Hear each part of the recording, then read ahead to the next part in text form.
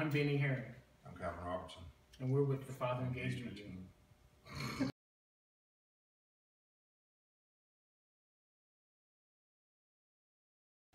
So, Mr. Calvin, just spending time with your children, just being in their presence, that's not enough. Not enough. We gotta go, gotta do a little bit more.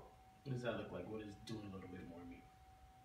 Well, you know, um, a lot of times parents say, go do your homework. Okay, that's spending time with your children. But say you talk about your homework on a walk, a nature walk. Mm-hmm. Talk about your school day. Or help them with their homework. Help them with their homework. If you have younger children and you say go for a walk, maybe play I Spy as you walk around. Yeah, that'd be excellent. Talk about the clouds and shapes that you see.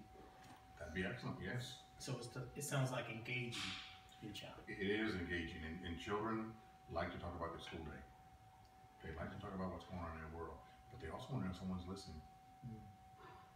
So it's, important to interact with them on multiple levels, Absolutely. not just based on what you need them to do, but you want to get into their world and see what makes them happy, what makes them sad, what makes them laugh, what makes them cry. Yes, and, and you'll find out more than what you think you bargained for.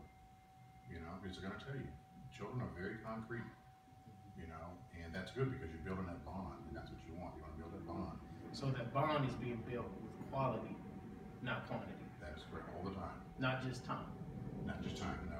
So it's the type of time that you spend with your child. Right. If you're cooking dinner, maybe have them coming into the kitchen and helping you cut up the vegetables, Sure. pour the food into the pot, Yes. things of that nature. Yes, yes.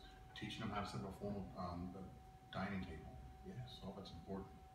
Um, and, and along the way, you can have the conversations. You know, you- you're basically building that memory. This is what I do with my dad. Yes. Yeah, this is what we did, and we talked about this, and we did. I remember.